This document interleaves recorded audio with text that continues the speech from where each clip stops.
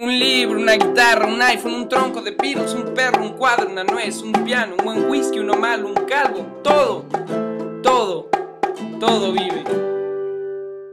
Cada vez que se acaban las vacaciones y tienes que regresar a la universidad o al trabajo o a lo que sea que tengas que regresar, uno se pregunta si de verdad las aprovechó, si le sacó jugo. Y aunque en muchas de estas ocasiones uno llega a la conclusión de que evidentemente hizo muchas cosas que generalmente no puede hacer, es decir, que fueron unas vacaciones productivas. Pero en muchas otras uno se da cuenta de que no hizo todas las cosas que hubiera querido hacer. Ay, por fin de vacaciones. Qué rico, chinga. Ahora sí voy a tener un buen de rato para hacer todo lo que quiera. Cosas productivas, chingonas, de crear, de hacer algo nuevo. Ya sé, voy a escribir un libro. Sí. Oh, oh, oh, oh, puedo componer canciones, no sé. Tres, cuatro. Trece canciones serán. Y, también puedo irme de viaje y, conocer lugares nuevos y tomar fotos y, videos y... No, hombre, va a estar retepado de qué vacaciones tan productivas voy a tener, güey, a huevo. Hoy mismo voy a empezar a hacer cosas chingonas. No, hombre, va a estar poca madre. Pero bueno, antes otra jetita. Ya después de eso sí empiezo. Ayer ya no pude, pero ahora sí tengo que empezar a aprovechar las vacaciones. Bueno, me echo otra ronda de esto y empiezo.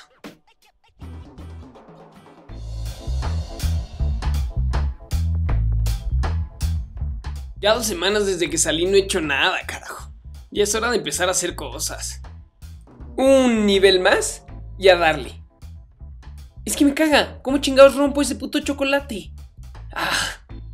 Ya decídete, güey. No está tan difícil. Proponte algo y ya. Uy.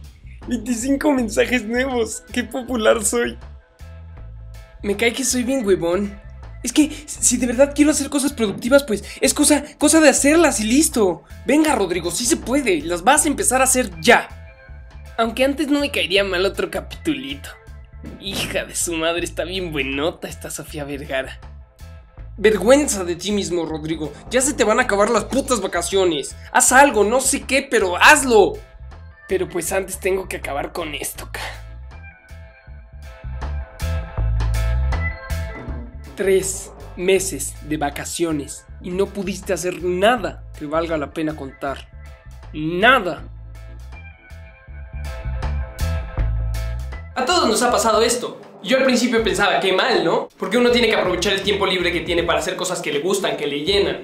Pero, por el otro lado también dije, pues las vacaciones también son para descansar para echar la hueva, para chelear, para no pensar en nada. Entonces, aunque suele ser frustrante cuando pasas por una de estas vacaciones y dices qué improductivo fui, hay que reflexionar que quizás en ese momento no se te antojaban hacer cosas, que necesitabas más descanso. A veces ser improductivo es rico, porque te relajas. Otras veces más bien te frustras.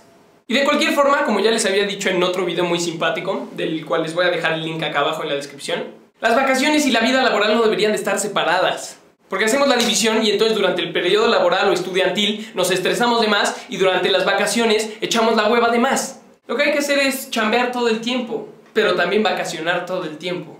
Y ya no debería de ser el sistema el que determine cuándo debemos de trabajar y cuándo debemos de echar la hueva. Uno tiene que oírse a sí mismo, a su cuerpo, y trabajar cuando quiera trabajar y echar la hueva cuando quiera echar la hueva. Y ya cuando se aprende a campechanear estas dos cosas adecuadamente, uno no puede ser improductivo. Porque uno siempre va a estar lo suficientemente sereno para tomar las decisiones que le permiten crear, producir nuevas cosas. Siempre estando consciente de lo que está haciendo en ese momento es lo que más quiere estar haciendo. Y mientras pase eso, uno vivirá más que nunca.